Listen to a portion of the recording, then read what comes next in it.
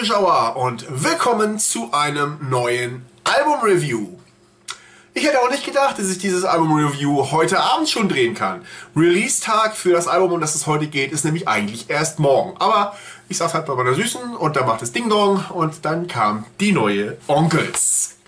Um die wird es jetzt gehen, Böse Onkels mit dem Album Böse Onkels. Ich habe hier die Deluxe-Edition bekommen, äh, denn auf Amazone konnte man nichts anderes bestellen. Sonst hätte ich mir die Standard-Version gegönnt, obwohl es auch eigentlich ganz interessant ist, das hier mal zu sehen, denn ja, der Preis war jetzt okay. Ja, und ähm, für die oder an die, äh, die die Standardversion haben, äh, könnt ihr mir ja gerne mal in die Kommentare schreiben, ob sich das vom Booklet vor allem her inhaltlich unterscheidet. Ich werde nämlich gleich hier alles zeigen. Ne?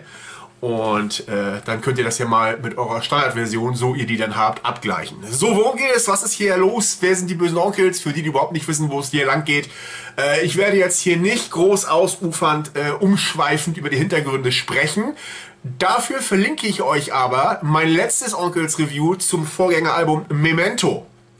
Da habe ich ein ziemlich langes Video gemacht, wo ich auch über die Band-Hintergründe und den ganzen ja, Scheißdreck, äh, der da äh, über die Onkels hinweggeschissen wurde, rede in ausführlicher Form. Wenn ihr da mal eine genaue Meinung zu wissen wollt, ja, dann klickt ihr einfach unten mal auf den Link. Ihr könnt ja so lange das hier pausieren und dann hierher wiederkommen, wenn ihr ein bisschen Zeit habt. Ja, so. Ähm, ich äh, gebe euch jetzt nur mal so die grundlegenden Infos. Die bösen Onkels sind eine Konstante hier in Deutschland, eine ähm, Rockband, deren Stilistik am ehesten zu vergleichen ist oder zu beschreiben ist in einer Mixtur aus knackigem Hardrock mit Punk-Einflüssen, ja, Ursprung in der Oi-Szene mit heutzutage, wie ich finde, oder auch zwischenzeitlich vor allem so in der 80er Phase finde ich persönlich auch durchaus Heavy Metal Elementen hier und dort. So. Und ich kenne die Onkels seit meiner Schulzeit und ich liebe die Onkels seit meiner Schulzeit. Ähm, damals war das ja das große rote Tuch aus Gründen. Wie gesagt, wenn ihr da genaueres wissen wollt, schaut das andere Video, da nehme ich dazu Bezug. Ja. Und äh, ich bin einer von denen, die halt eben die Onkels mögen und gleichzeitig auch viele andere Bands, die Onkels-Fans jetzt vielleicht nicht unbedingt mögen würden. Ne? Ich mag einfach Deutschrock und Onkels machen für mich einfach Deutschrock. Allerdings mit den Besten, wie ich finde. So, ähm, Erstmal äh, dazu, die Jungs kommen aus Frankfurt und sind seit 1980 ja, am Start. Erst hießen sie Beulenpest, jetzt heißen sie halt Onkels. Und äh, also seit 80, ja. Und irgendwie so war das. Wie gesagt, die ganzen genaueren Sachen findet ihr in dem anderen Video. Da sind auch ein paar äh, nicht ganz korrekte Sachen, die ich da sage. Also was die geschichtlichen Sachen angeht, ja. Ist ein bisschen schwer, das alles im Internet zu recherchieren. Es sei denn, man hat das entsprechende Buch im Regal, was ich eben noch nicht habe. Aber dann lest vielleicht unten die Kommentarsektion. Es gab ein paar aufmerksame Zuschauer, die dankenswerterweise da ein bisschen was ergänzt haben, wenn ihr jetzt wirklich jedes exakte Detail wissen wollt. So, Gut, ähm, setzen sich zusammen und das ist eben das, was ich eben gerade meinte. Äh, naja, die Konstante. Ja, seit Gründungstagen haben wir hier immer noch dieselbe Besetzung am Start. Ja, Peter Schorowski am Schlagzeug, Stefan Waldner an der Gitarre, Kevin Russell am Mikro und am Bass haben wir Matthias Röhr. Und diese vier Recken sind seit Anfang dabei, sind immer noch Freunde und immer noch am Start. Und das finde ich saustark. Es gibt nicht viele Bands, die so lange schon so äh, zusammenhalten, sag ich jetzt mal in dieser Form. Und das hat die auch geprägt, die äh, Jungs, kann man sagen. Und auch die Musik, das kann ich jetzt sagen, denn ich habe das Album hier gerade gehört. Ähm, aber erstmal ein bisschen was zu den Hintergründen, die ich sonst noch so zu erzählen habe. Ich verfolge die Band natürlich auf Facebook und da gab das dann ja jetzt immer, also das wird jetzt hier ein bisschen anderes Review, denn im Grunde review ich dieses Album jetzt zusammen mit den Onkels. Wie ich das mache, ja, die kommen gleich zur Tür rein. Nein. die trinken gerade noch mal Bier leer und dann kommen sie gleich rein. Nein, Blödsinn. Ähm, die Jungs haben auf ihrem offiziellen Facebook immer zu jedem Song so ein paar, ja, so Liner Notes veröffentlicht wo sie einige ihrer, oder nicht einige, wo sie jeden einzelnen Song auch so ein bisschen teilweise, ja, manchmal hat das so ein bisschen Review-Form, was sie da so über ihre eigenen Songs sagen. Ja, und das habe ich mir alles brav und äh, fein, lieb und artig über die Tage hinweg notiert und äh, mir hier zusammengesammelt und werde ich immer, wenn ich die Meinung zu jedem einzelnen Song meinerseits sage, also meine Meinung dazu, vorher verlesen, was die Jungs über den Song sagen. Ja. Ich meine, mehr Informationen kann man über die einzelnen Songs wahrscheinlich nicht raushauen. So, jetzt habe ich allerdings auch dort, äh, als, als dann erstmal einfach nur die Tracklist vorab veröffentlicht wurde von dem neuen Album, gab es denn darunter schon die ersten äh, Kommentare und da musste ich mir schon direkt wieder an den Kopf packen, ja. Mal jetzt mal ganz abgefahren, mal ganz abgesehen von den Standardplattitüden wie oh, die äh, hier, sie wollten ja schon lange aufhören, jetzt sind sie wieder da und ist ja alles nur Geldmacherei und äh, Kommerz, sie predigen gegen den Kommerz und sind es selbst, bla bla bla. Das ist eine Rockband, ist doch klar, sie Geld verdienen wollen. Habt ihr ein Ei am Wandern oder was?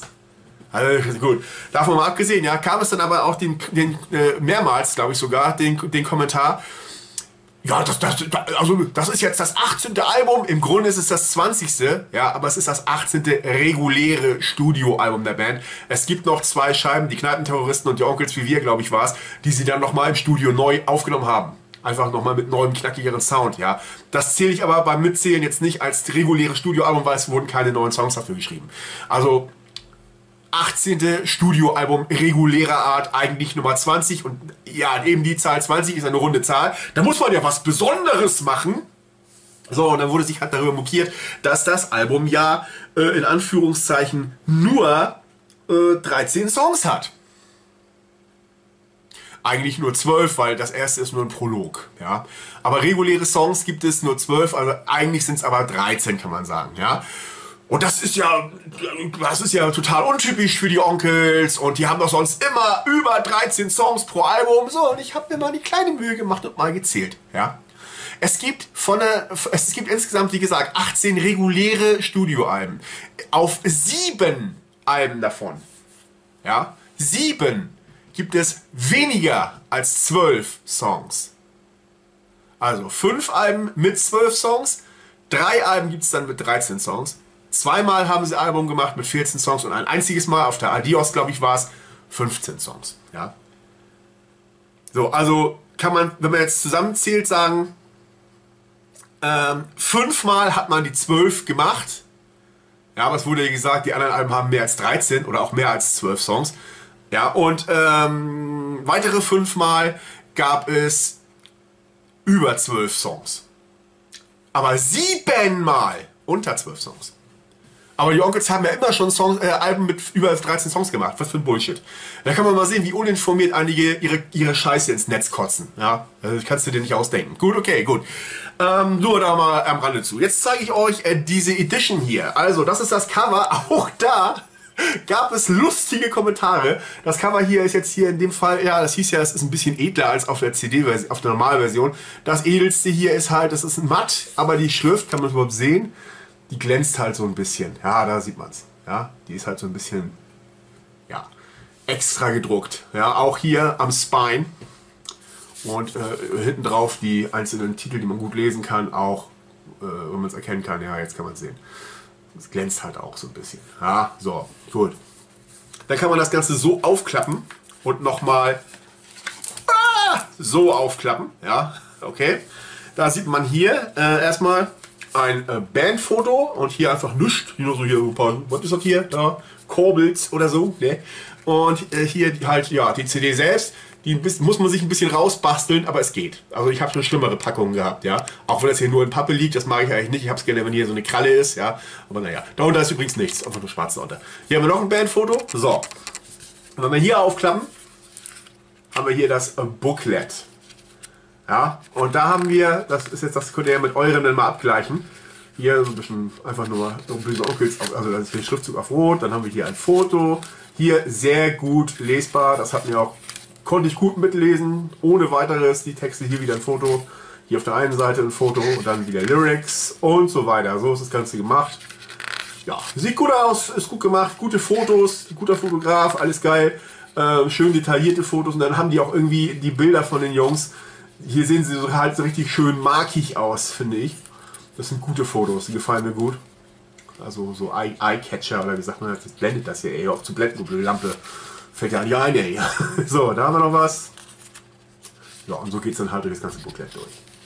Bilder oder Lyrics oder Bilder und Lyrics und hier nochmal so ein bisschen Produktionsnotizen, ne? Wer denn so was macht und so alles. So, ja, gut. Also, es gibt ja auch drei kleine Gäste, da sage ich aber in den einzelnen Songs noch zu. Ich kann euch heute keine Songs verlinken, es gibt noch keine offiziellen Videos. Vielleicht kommt da noch was. Ihr könnt ja öfter mal reinschauen. Ne? Äh, ich, sobald ein neues Video kommt, verlinke ich das sofort unter der Infobox. Das mache ich übrigens auch nachträglich bei alten Reviews. Also wenn ich jetzt ein Review drehe von irgendeinem Metal-Album, ja, und irgendwie einen Monat später haut die, von, haut die Band von diesem Album, das ich schon reviewt habe, nachträglich noch ein Video raus ein, äh, von einem der Songs. Nachdem ich das Ding schon lange besprochen habe und überhaupt nicht erzählt habe, dass es da ein Video gibt, klatsche ich das trotzdem nachträglich den Link unten in die Infobox. Mache ich immer. Also wenn es mir auffällt natürlich. Ne? Das werde ich dann auch hier tun. Also wenn es jetzt aktuell zum, zu diesem Zeitpunkt gibt es hierzu noch kein Video und auch kein Review. Ich habe keine, ich mache sehr ganz gerne, wenn ich Rezensionen mache, dass ich nebenher schon mal von anderen Leuten so ein bisschen die Stimmen einfange und die Rezensionen anderer Leute so lese, um dann mal eine andere Meinung zu hören vielleicht, ne, die man dann vielleicht auch mit dem anderen, mit, ein bisschen mit der eigenen Meinung reflektieren kann. Da gab es nichts, nicht mal Amazon-Rezensionen, aber naja gut. So, ähm, gut, wie gesagt, kurz zum Cover. Da wurde sich ja drüber aufgeregt. Alter, die einen, ja, die einen sagen dann, ich hyperventiliere. Wie kann man denn einfach nur so ein schlechtes Cover raufklatschen? Einfach nur ein Foto. Ich, ich gehe jetzt nicht her und zähle jetzt nochmal die ganzen Albumcover von den Onkels, auf denen sie als Foto zu sehen sind. Ja, das ist bestimmt die Hälfte. Also es ist jetzt grob geschätzt, muss ich gestehen. Ja. Aber mir fallen mindestens vier Stück ein. Einmal, wo sie als Jungs drauf sind. Ich weiß nicht, ob das Album auf dem Kopf weiß. Naja, dann die Onkels wie wir, glaube ich, hatten ein Bandfoto vorne drauf. Die äh, hier, sag schnell, die äh, boah, Dopamin, auch wenn das so, so einen komischen GTA-Zeichenstyle hat, ja. Die äh, hier Heilige Lieder, da sind sie ja in äh, Kirchenroben, ach und was weiß ich noch was. So. Ja, das ist das erste Mal, dass sie sowas machen. Und dann, ja, wollt ihr jetzt die Hipster sein? Wegen den Fingerzeichen, ja? So, und dann, und dann, und dann hieß das, was hieß denn, heißt denn hier Victory? Seit wann sind die Onkels denn Victory? Das hier ist das Zeichen für Victory, ja? Und wenn ihr mal kurz ein bisschen noch die Mühe macht und googelt, es gibt Länder, in denen ist dieses Zeichen, das hier gemacht wird, ja, steckt ihr zwei Finger in den Arsch, du blöde Sau. Vielleicht betrachtet ihr dieses Cover Artwork jetzt aus einem anderen Blickwinkel. Und außerdem ist das eine Pommesgabel, die geht immer, die geht immer klar, okay? Also. Diese Nörgler immer, ey. Es gibt Menschen da draußen, die müssen einfach über jede Scheiße nörgeln. Außerdem finde ich das Albumcover sogar passend zu diesem Werk. Denn genauso äh, kernig gealtert wie die Jungs hier, wie man hier sieht, ja, ist auch der Sound der Band. Das komme ich nämlich jetzt. Ich nehme hier jetzt die einzelnen Songs vor. Als erstes beginnt das Ganze mit, ja, als erstes natürlich beginnt es als erstes mit dem Beginn, mit dem Prolog, so heißt es einfach. Und das ist eben auch das erwähnte Intro, das man jetzt nicht als vollwertigen Song zählen kann daher, ja. Zum Prolog schreibt P. Schorowski, Danke Ben, ist uns eine große Ehre. Der Mann kann, kann man nicht anders sagen, viele Parallelen, gleicher Jahrgang, Hut ab vor seiner Kunst als Redner, Schauspieler und, und seinem teilweise holprigen Lebensweg, seinem scharfen Geist und lockerer Art. Und seiner lockeren Art, so, ja. Wer ist gemeint? Ben Becker. Denn Ben Becker spricht dieses Intro ein, das macht er sehr gut.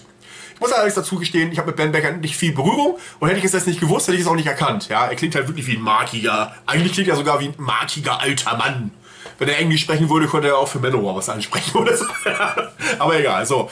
Ähm, dann geht's los mit dem, also zu dieser, zu dieser Erzählung, die er da am Anfang so ein bisschen über die Onkels erzählt, wenn man so will, ja, hört man so ein bisschen Gitarre im Hintergrund und diese Melodie, die da so leicht im Hintergrund plänkelt, ist das Hauptriff des ersten offiziellen Songs mit dem Titel Kuchen und Bier. Nein, es hat nichts mit einem schlechten YouTuber zu tun. Ähm, Stefan Weidner sagt zu dem Song 40 Jahre Onkels, nie hätten wir es für möglich gehalten, dass so viel Leben in dieses Zeitfenster passt. Wir waren Meister im keine Töne treffen, heiser sein und im Kräftemessen. 14.600 Tage, keine Zeit für Bodenhaftung, da darf man auch mal über sich selbst lachen. So. P. Schorowski sagt dazu, idealer Opener, ein klassischer Onkels-Song, ich freue mich auf die Tour, Feierlaune. Während ähm, ich zu dem Song jetzt sage, ja, das Ganze beginnt halt, hat einen stampfenden Einstieg. Also erstmal dieses Riff, was man auch im Hintergrund beim Prolog hört.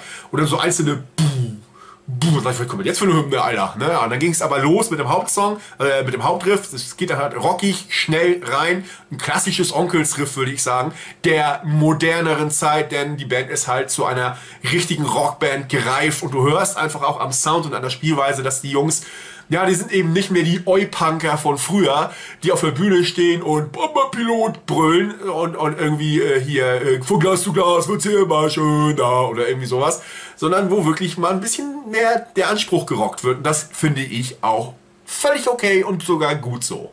Ja, also mir gefällt, was ich hier höre, auf gut Deutsch. Ja, so äh, Kevins Stimme klingt auch immer noch astrein, finde ich, und ich finde, er klingt hier sogar ein bisschen besser als auf dem letzten Album. Meine Süße hatte im Auto ein bisschen Schwierigkeiten, die Texte teilweise zu verstehen auf dem Memento. Ich bin mir ziemlich sicher, hier hat sie äh, keine Probleme. Die Artikulation ist hier auch viel klarer, finde ich. Und also das liegt aber, ist es aber glaube ich auch der trockenen und dennoch druckvollen Produktion geschuldet, bin ich mir ziemlich sicher. Gut, äh, wir haben einen strophenartigen Refrain, insgesamt ein, wie gesagt, erwachsenerer Onkelstitel und nach dem zweiten Refrain gibt es dann eine stampfende Bridge, ja, so mit einer Extrastrophe dabei und dem folgt dann ein sehr starkes Gitarrensolo. Da wurde ich ein bisschen wehmütig. Ich vermisse halt unseren alten Gitarristen. Der spielt, der ist nämlich sehr beeinflusst von den Onkels, ja, was sein Solospiel vor allem betrifft.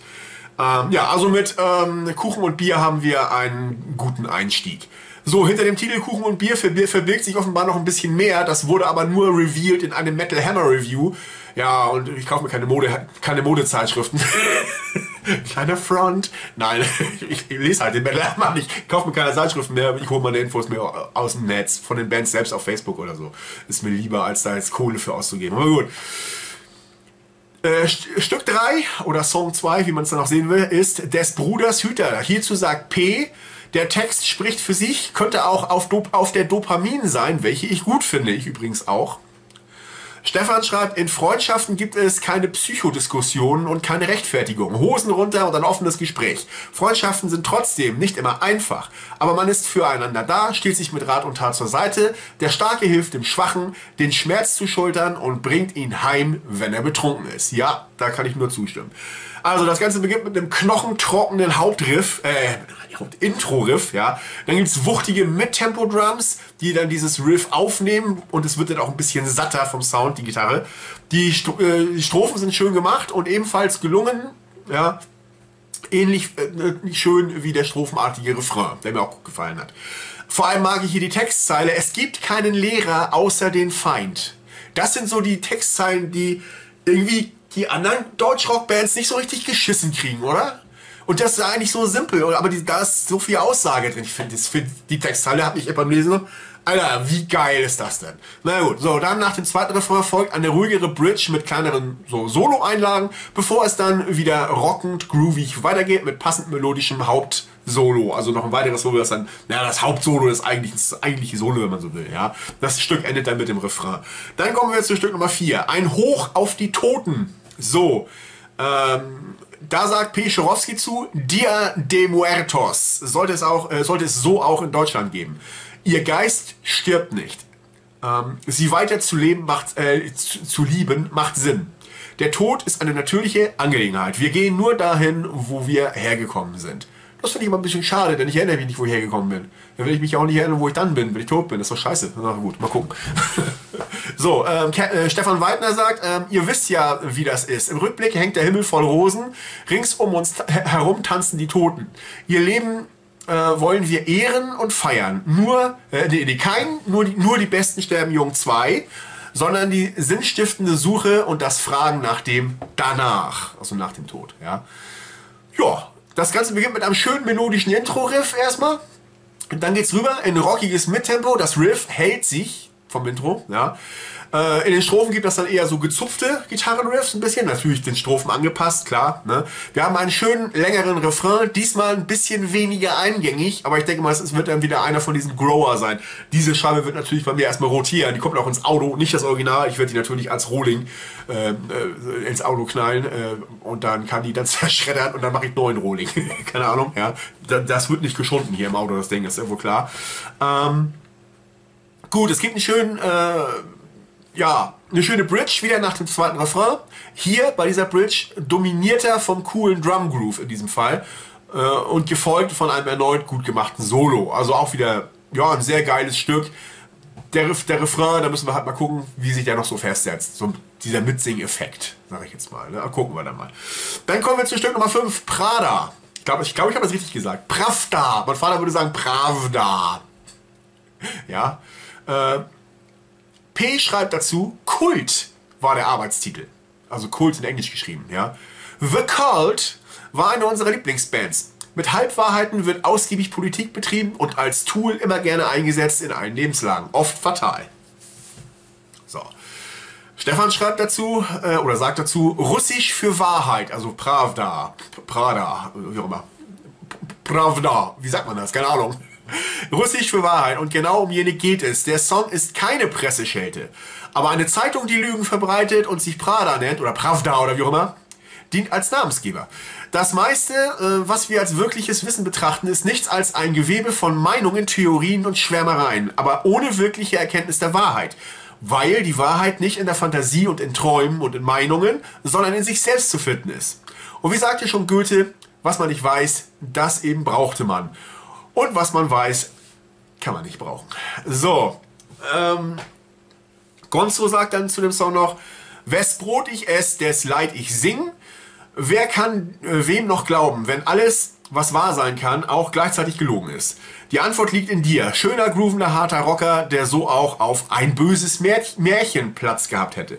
Gefällt mir außerordentlich gut, schreibt er zu seinem eigenen Song. Das ist schön. Äh, die eigenen Songs sollten einem auch schon immer möglichst gefallen, finde ich. Aber gut.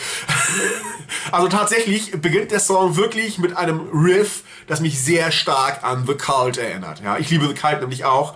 Mein erstes, Lieb äh, mein erstes Lieblingsalbum, mein erstes Album der Band war Passion Temple. Ja, und da würde das fast raufpassen, das Riff. So, so geil ist das. das ich, ich, ja, mein Lieblingsalbum und der erste Album von Cult ist Passion Temple und ich habe sie bis heute nicht im Regal, ich Arschloch. Nee. Ich habe nur die Ceremony und diese komische andere rote da. Ich weiß den Namen gar nicht. Egal. Ähm, so, der Groove, der dann einsetzt, passt auch in die Richtung. Ja, The Cult. Die Strophen haben dann allerdings ein bisschen Hardrock-lästigere, also klassische Hardrock-lastigere Riffs. Passt aber auch, denn auch das setzen Kalt öfter, äh, öfter mal ein. Der Refrain allerdings, das ist mein größtes Problem bei dem Song, der ist nämlich ein bisschen sperriger als bei den anderen Songs bisher. Viel Text, da muss man erst lernen und so wirklich eine eingängige Melodie war das jetzt auch nicht so unbedingt, ja. Ähm, das äh, ruhigere Bridge äh, vor einem knackigen Gitarrensolo-Konzept, das wird hier auch konsequent fortgesetzt und ja, somit ist es eigentlich eine schöne Nummer, dank der spürbaren The Cult-Einflüsse. Ja. Allerdings, wie gesagt, kein wirklicher Ohrwurm. Aber vielleicht wächst das ja noch bei mehrmaligem Hören. So, dann kommen wir zu Stück Nummer 6. Saufen ist wie Weinen. Dazu sagt P. Einer meiner Lieblingssongs auf dem Album. Geht ab, schön asslig und melodisch punkig. Kevin sagt dazu, na das passt ja, vom Saufen kann ich ein Lied singen und das hier trifft den Nagel auf den schmerzenden Kopf. Aber einem gewissen Pegel neigt man dazu, sich über jedes Maß hinaus in die eigene Tasche zu lügen. Ein kleines Bier, ein Gläschen Sekt, ich krieg das hin, ich steck das weg. Wenn das jemand sagen kann, dann bin ich, äh, äh, achso, dann, dann bin das wohl ich und mein früheres Verständnis von K.O.-Saufen. Der beste Kater ist trotzdem scheiße. Ja, das stimmt wohl. Ja, und Gonzo schreibt Brett, musikalisch irgendwo zwischen Punk, Stoner und Desert Rock. Die ganz sorglosen Sauflieder haben bei uns ausgedient. Erinnert mich thematisch an Es ist, wie es ist. Und Stefan schreibt dazu, machen wir uns nichts vor, du marinierst nicht dein Leben lang dein Gehirn in Alkohol und harten Drogen, ohne dass dir ein paar Drähte durchschmoren. Alkohol in äh, ohne Maß und ohne Sinn kann irgendwann traurig werden. Das Bier schmeckt dann schal, der Alk fühlt, führt als Flucht zu wenig weit und er wird zum äh, Betäuben zu schwach. Du kannst das eigene Jammern und die gut gemeinten Ratschläge nicht mehr hören und wünschst dir nur noch, dass die ganze Welt inklusive der Stimme im Kopf die Fresse hält. Wir stehen aber immer wie es, äh, achso, ich habe den Faden verloren, sorry. Wir stehen aber immer wieder selbst viel zu nah am Abgrund, um irgendwen zu retten. So, also, der Song beginnt erstmal mit einem sanften Basslauf. Dazu kommt dann ein, so eine gechillt bluesige Gitarre, ja, dieser, dieser Desert, erwähnte Desert Rock vermutlich, ja, äh, Einfluss. Dann aber kommt das schlichte, punkige Rockriff dazu. Dazu treibende Drums und ein typisches Deutsch, äh, Deutschrock-Lead-Riff, würde ich in dem Fall sagen. Diesmal haben wir einen sehr eingängigen Refrain, der auch wirklich gut passt. Da kannst du auch schon beim ersten Mal mitsingen fast, ja. Und das fetzige Solo, das kommt diesmal auch ohne Bridge daher. Ja, also ohne, dass da vorher noch rumgeplänkelt wird irgendwie. Obwohl ich das ja eigentlich mag, solche Bridges. Ich stehe da ja drauf. Aber gut. Also insgesamt ist das Stück ein schöner, partytauglicher Rocker. Wird übrigens auch noch auf Partytauglichkeit geprüft, die Scheibe. Ich nehme sie nämlich Samstag mit zu meinem Bruder. Allerdings auch eine Kopie. Weil, wie gesagt, ich will die schützen, die. Oder ich, ich nehme Stick mit mit MP3s, das ist vielleicht das, das Einfachste. So. Gut, dann kommen wir zu Stück Nummer 7. Wie aus der Sa Obwohl, vielleicht hat er sie ja auch da. Vielleicht hat er sie auch gekauft. Da muss ich, ich, ich muss ihn mal anrufen. Nee, nee, er ist ein bisschen spät zum Anrufen. Ich rufe ihn morgen mal an, vielleicht hat er die ja. Dann brauche ich ja gar nicht mitschleppen. Wie aus der Sage. Ähm, da schreibt P. Richtig fetter Song. Der Text ist motivierend, dramatisch, episch, hymnisch, irgendwie monumental. Kevin sagt dazu, geiles Ding, der totale epochale Vorschlaghammer. P hat den Text geschrieben und sich damit ein kleines Denkmal verschafft. Ich glaube, er hat dabei auch an mich gedacht jetzt in Anführungszeichen, gegen die geisttrüben Land äh, Leidenschaften und wieder in Anführungszeichen, kämpfen macht dich stark, nicht das Gewinnen. Epischer geht's ja wohl nicht mehr. Die Niederlage, die, die Niederlage einstecken und mit richtiger Power wieder aufstehen. Geile Aussage. Ein Onkelsong par excellence vom Gesang, Text und vom instrumentalen Teil. Kann ich unterstreichen, denn ich habe das ja auch durchgemacht. Ne? Also hier äh, Niederlage einstecken und dann wieder aufstehen. Ich sage nur Querschnittslähmung und wieder äh, schreiben, essen, scheißen, pissen und laufen lernen. Ja, habe ich alles hinter mir. Ähm, unglaublich vielfältiges, komplexes Stück, sagt Gonzo. Die Streicher hat mein Sohn Vincent, also äh, ja, Vincent Röhr, arrangiert. Der Text stammt aus P.'s Feder, Kevins Gesang ist magisch. Wie aus der Sage fühlt sich größer als das Leben an. So, was sage ich dann zu dem Song? Achso, Stefan sagt noch was. Moment, ich bin noch nicht, die Jungs sind noch gar nicht fertig hier. Stefan sagt, in unserem Leben und besonders in Kevins kollidieren immer mal wieder äh, zwei Lebensfluchten. Die eine auf dem Weg in die Verdammnis, die andere äh, aus ihr heraus. Mehrfach hat er dem Tod die Schaufel aus den Händen gerissen und sein Ende überlebt, was ja auch stimmt. Ne? Eine Schlange muss sich häuten, um wachsen zu können. Genauso muss dein Geist Vergangenes verarbeiten und sich reinigen, bevor er weiter wachsen kann. Ps zweiter kompletter Text für die Onkels ist das hier. So, das Ganze beginnt mit gezupften Akustikriffs, ja, dazu halbakustische Gitarre im Hintergrund so ein bisschen, ja. Dann steigert sich das Ganze so leicht rein und wird dann zu einer leicht hymnischen und stampfenden Rocknummer mit dramatischer Atmosphäre, ja. Also stimmt schon, was die Jungs über den Song so sagen. Wirklich eine leichte Epik auch in der Art, wie die Strophen vorgetragen werden, finde ich, ist da vorhanden. Und der Song hat auch einen sehr starken Refrain, den man auch gern mitsingen lernt. Ich muss ihn eigentlich noch lernen. Längere strophenartige Refrains, da muss ich immer fünf, sechs Mal hören, bis ich den wirklich drauf habe. Aber richtig gut, wird bestimmt ein kommender Klassiker, den man gerne mitsingen kann ich mir gut vorstellen. Ja. Ähnlich wie bei, ähm, ah, es gibt so viele Songs, ich will jetzt keine Beispiele, das dauert, das sprengt ja sonst den Rahmen hier. Also im zweiten Refrain folgt ein hymnisches Gitarrensolo, dann noch zweimal der Refrain, ja, und jetzt steigt dann auch das Tempo ein bisschen und es gibt ein weiteres Solo und nochmal den Refrain, ganz am Ende. Also ich finde, das ist eine richtig tolle Hymne und bei mir persönlich ist das auch das persönliche Album-Highlight. Für mich ist das hier der geilste Song auf dem neuen Album. Jedenfalls spontan gesagt. Ich habe natürlich noch nicht den Grower-Effekt bedacht an der, an der Stelle. Ich habe es einmal jetzt gehört, das Album. Ne? So, dann kommen wir zu, zu Song Nummer 8. Ich wollte sagen, zu Stück Nummer 8. Äh, du hast mich. Ich mag das. Okay, ich muss sagen, der ist auch geil. Okay, äh, also die Jungs sagen, also Stefan sagt erstmal, äh, weil nicht alle von der guten Suppe essen können, spuckt man sich gegenseitig rein. Der Neid und, die, und der Klassenhass nährt eine echte Proletariats... Pro, nochmal, Proletarier-Aristokratie. Meine Güte. Sag, sag doch Arschlochgesellschaft.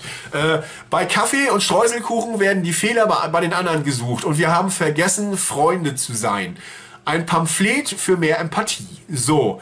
Äh, P sagt, noch einer meiner Favoriten. Schön punkig. Und Kevin sagt, ich könnte mir gut vorstellen, dass das live gut knallt. Typisch wütender Onkels-Song. Äh, wie alle hier. Ha. In einer Reihe mit keine Amnestie für MTV und anderen auf die Fresse brettern ist sicher auch äh, dem Internet und unseren Benehmen dort geschuldet, diesen asozialen Hetzwerken und genau darum geht es auch textlich. Ja. Gonzo sagt dazu noch, Led Zeppelin, 70er Jahre Hardrock, Punk und das alles zusammengeonkelt, kulminiert in einem feisten Pogo-Abgehrefrain und genau das trifft es auf den Punkt. Der Song geht direkt los, knallt direkt rein, rotzig, punkig und rockig, ja. In den Strophen ist das Ganze dann ein wenig bisschen weniger gitarrenlastig, sag ich mal. Und dann kommt der strophenartige Refrain und der wird sich mit Sicherheit beim mehrmaligen Hören sowas von festsetzen im Ohr. Ja, da freue ich mich schon drauf, kann ich nicht anders sagen. Äh, mittig gibt es dann eine groovige Mittempo-Passage mit einer passenden Strophe und wirklich leichtem Led Zeppelin-Gimmick. Da ist nämlich dieses ah, ah, ah, aus Hole and Love ist es, glaube ich. Das ist da so ein bisschen eingeflochten, so ein bisschen nachgemacht, ja. So völlig, muss ich ein bisschen schmunzeln. Das ist gut. Ich mag sowas so ein bisschen eine Verneigung vor den alten Rockgöttern, da kann man doch mal machen. Ne? So, dann gibt es ein melodisches, leicht psychedelisch gemachtes Solo, fand ich jedenfalls, also ich empfand das so, und dann geht es wieder zurück in den Refrain bis zum Ende und äh, inklusive Oh, wow, wow Gesang auch noch oben drauf. Ne? Also auch wieder absolut geiler Song. Das Album äh, wird immer besser, so länger, je, länger es läuft, finde ich. Also so wirkte es auf mich. Da kommen wir zu Stück Nummer 9, der heißt einfach Rennt. Also ne, los, lauft jetzt hier. Rennt. Ja. Ja, äh, P schreibt dazu, ja, richtig gut, verdammt rockig, guter sozialkritischer Text, fetter Song. Kevin äh, schreibt dazu oder sagt dazu, musikalisches und textliches Armageddon, ein Meisterwerk aus Stefans Feder, habe ich mehrfach eingesungen, um die perfekte Tonlage zu treffen, die dem Song diese Düsternis und dieses Dämonische verleiht. Jetzt passt alles. Die Sicht des Bösen, des Teufels, des Diabolischen, das eigentlich alles wir sind. Der Geist ist kein. Dreht, dreht schön laut, aber erschreckt euch nicht vor mir. Haha. Na gut, ich fand aber äh, auf dem letzten Album, ich weiß gar nicht mehr, wie der Song hieß, da war auch irgendwas mit dämonisch und böse. Da klang Kevin noch ein bisschen bösartiger, fand ich. Das war auch so, das war dieser doomige, langsame Stampfer. Wie hieß denn das Ding nochmal, verdammt? Wieso kommt der jetzt nicht drauf? Ich muss das Album jetzt in die Hand nehmen, dann wüsste ich es wieder. Gut, aber da fand ich ihn noch ein bisschen böser als jetzt hier in Rent, muss ich dazu sagen, ja. So, Gonzo sagt zu dem Album, äh, zu dem Album, zu dem Song, düster, gallig, gefährlich. Das finsterste Stück des Albums aber auch ein richtig guter und wichtiger sozialkritischer Song. Die Gitarren, Bässe, Drums und Kevins Organ ergeben ein infernales Abbild dessen, was wir wohl Hölle nennen würden. Ja, und Stefan schreibt noch, dies ist die Geschichte der Zerstörung. Wir erleben keinen nuklearen Winter, aber den Herbst unserer eigenen Überheblichkeit. Das Ende, das wir fürchten, kommt immer näher. Ich habe jeden Morgen ein bisschen mehr das Gefühl, Zeitzeuge bei der Verwesung der Welt zu sein. So, das Ganze beginnt mit verspielteren Riffs im Intro, mit etwas vertrackterem Rhythmus, ja, so ein bisschen dabei. In den Strophen erneut äh, ein bisschen gitarrenlastiger, äh, weniger gitarrenlastiger, wollte ich sagen. Ein bisschen weniger, dass er jetzt die, die Rockgitarre dominiert in den Strophen. Was allerdings auch Kevins Stimme wiederum ein bisschen mehr hervorhebt. Ja. Äh, und das passt natürlich dazu. Der Refrain passt auch gut soweit zur Stimmung des etwas tatsächlich düsteren Songs. Und im zweiten Refrain folgt dann auch ein, ja, ein sehr gelungenes Gitarrensolo, finde ich. Dann gibt es bis Ende wieder den Refrain und das ist das Ding vorbei. Ja. Fand ich aber auch ein sehr gutes Stück. Dann kommen wir zu Stück Nummer 10. Wer schön sein will, muss lachen. Den fand ich wieder sehr stark, den, den Song. P sagt dazu, ein großer Cognac-Schwenker bis zum Refrain und wieder danach. Befüllt mit feinstem, teuren, rockt eine Bilanz im Spätsommer der Lebensuhr. Boah. Kevin sagt, dieser Körper ist kein Tempel, das ist eine Textzeile oder eine Refrainzeile, sagt alles. Ich habe sicher genug Müll zum Rausbringen angesammelt und recycelt wird leider nicht. Wir sind nicht mehr die Jüngsten, aber innen drin immer noch die Geilsten. Genauso wie das Lied ist, fühlen wir uns. Trotz aller Narben ist die Grundierung erste Sahne. Und auch das ist wieder so eine Textzeile, mehr oder weniger. Ne? Gonzo äh, sagt dazu, äh, das Älterwerden Augenzwinkern zu verpacken kann peinlich sein, ist es aber bei den Onkels, ist es bei den Onkels aber nicht. Und da kann ich auch nur zustimmen. Ja, der Text ist sehr gelungen, fand ich. Also ist jetzt nichts Peinliches. Äh, nach so viel Leben, in so vielen Jahren, darf ein kurzer Blick auf die eigene Sorgenfalten erlaubt sein. Vor allem, wenn die so schön nach vorne gehen und so ein, äh, eingängig sind wie der Song hier. Aua. also das Ganze beginnt balladesk, allerdings Onkels-Balladen-Style. Also irgendwie ist es ja schon so ein bisschen mit Drums und mit Tempo, aber eben balladesk gespielt. Wisst ihr, wie ich das meine? Nein? Hört mir Onkels. So, äh, in den Strophen hält sich das dann auch so und äh, das Ganze ist halt so eine Mittempo-Halbballade, wie erwähnt. Im Refrain allerdings, da wird die Nummer dann äh, zum schönen Rockstampfer mit einem schönen Riff und härterer Gitarre dabei. Ja? Und der Refrain selbst ist strophenartig, hat aber eine starke Melodie und ist dann sicher auch wieder so ein Grower. Also ihr wisst schon, Text lernen. Ne? Ja, du, musst das, du musst den Text auch nicht mit dem Booklet lernen. Also das ist ja alles so gut verständlich, dass du ihn einfach tausendmal hören musst, dann singst du automatisch mit, weil irgendwann brennt sich das einfach ein. Es ist einfach bei Songs eben so. Ne? So, gut, äh, der Text äh, übers Altwerden und dennoch äh, ja, bleiben, wer man ist, kommt auch wirklich geil, finde ich. Ist gut, sehr gelungen, finde ich. Mittig gibt es eine Bridge mit sackhartem Riff, kurz, ja, gefolgt von einer, äh, einem ruhigeren Solo-Part. Ja. Also wieder eine starke Nummer, ganz klar. Dann kommen wir zu Stück Nummer 11, der Hund, den keiner will. Das war erstmal ein bisschen was anderes. Jetzt wird ein bisschen experimentell, kann man fast so sagen. Ja.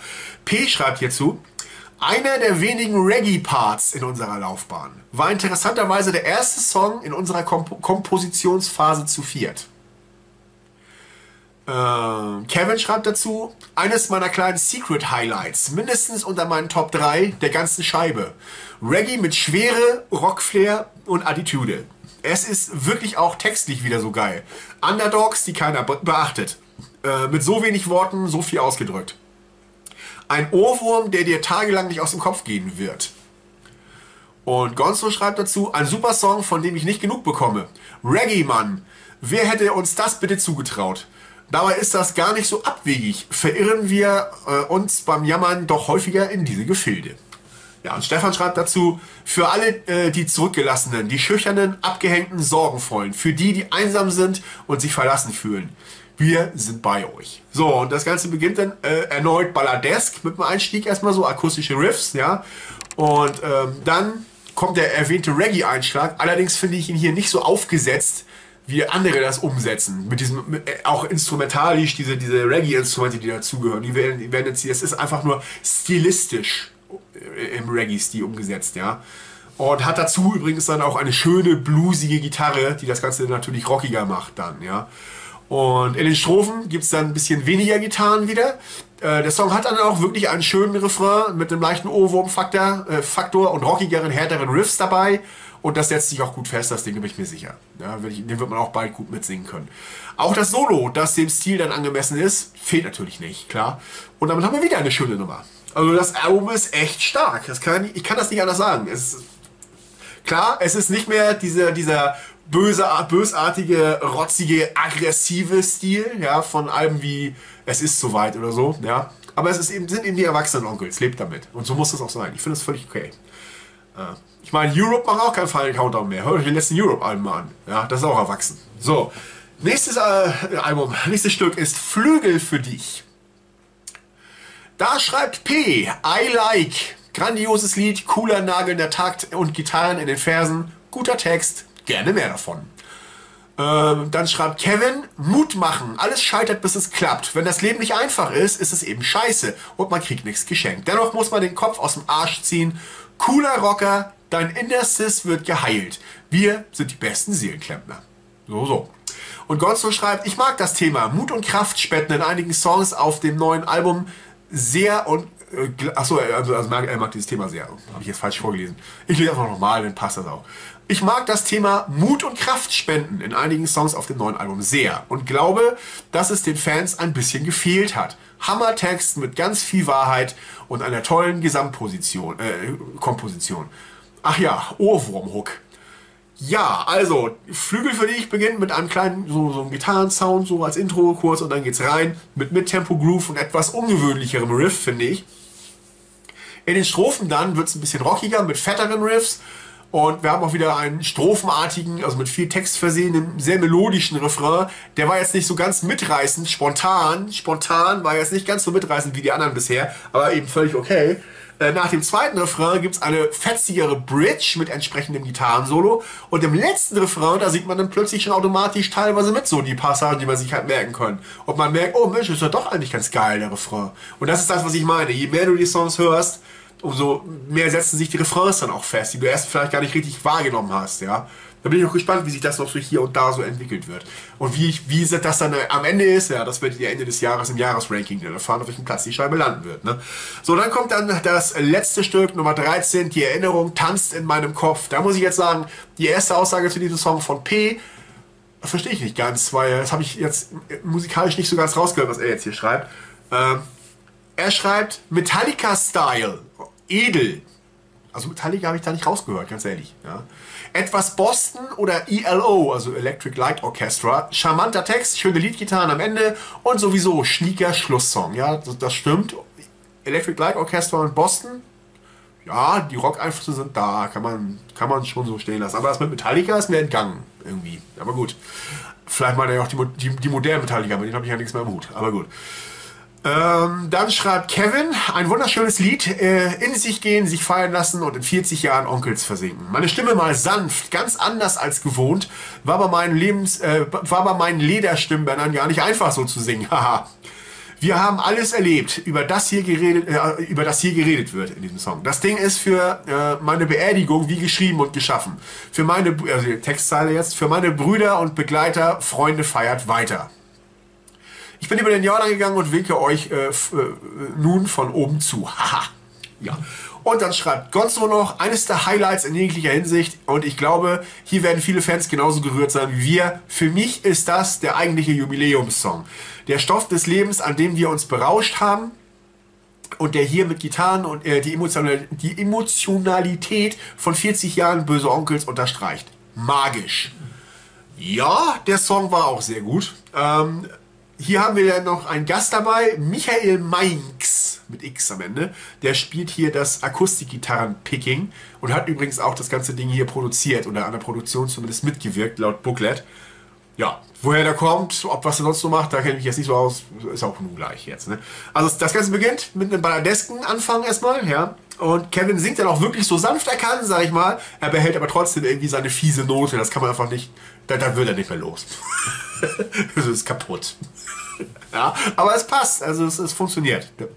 Das ist jetzt nicht so, dass er, dass er sich jetzt hier zum Affen macht und das passt nicht oder es wäre schief oder disharmonisch oder absolut nicht. Nein, das, ist, das passt schon, ja. Es bleibt auch erstmal eine klare Ballade. Ähm, auch im hymnischen Refrain bleibt es das, ja, der erneut strophenartig ausfällt, aber eine schöne Melodie hat, finde ich. Äh, mittig werden wir wieder mit einem sauberen Solo verwöhnt, ja, und danach kommt zum nächsten Refrain dann auch härtere Gitarren und wuchtigere Drums dazu. Da wird es dann nochmal rockig. Am Ende baut sich das nochmal richtig auf, das Ding, bevor das Album dann damit endet. So. Gut, die bösen Onkels mit dem Album Böse Onkels. Einfach ganz schlicht, ja. Gute Marketingstrategie finde ich. Ihr habt vorher keine scheiß Videos rausgehauen, wie es jede andere Band im Metal- und Rockbereich derzeit tut. Kommt ein neues Album, kennst du vorher schon die Hälfte, weil es schon drei oder vier Musikvideos dazu gibt. Ja. Eins finde ich ja noch gut. Ist ein guter Teaser, wenn man so irgendwie einen von den, von den Songs, wo man selbst der Meinung ist, ja, da machen wir jetzt mal ein Video zu. Ist jetzt nicht das Highlight des Albums, aber wir teasern damit die Fans an und machen dazu ein kleines, von mir aus ein Lyric-Video. Da müsst ihr auch noch nicht mal irgendwie vor die Kamera stellen. Ist dann ja auch okay. Ja? So ein Ersteindruck, ja. Das ist völlig okay, aber einige Bands, die hauen ja schon ihr, ihr halbes Album vorher raus. Das finde ich ein bisschen, ein bisschen übertrieben teilweise. Nein, hier gab es gar nichts vorher, nicht mal Reviews. Fand ich auch der erste, ich weiß es nicht. Gut. Ähm, Onkels-Fans können zugreifen. Das ist meine klare Meinung. Ja? Richtige, echte Onkels-Fans, die mit der Band gealtert sind, müssen sogar zugreifen. Ich weiß jetzt schon, mein Bruder wird die Scheibe hier auch feiern. Er hat ja auch die Memento gefeiert.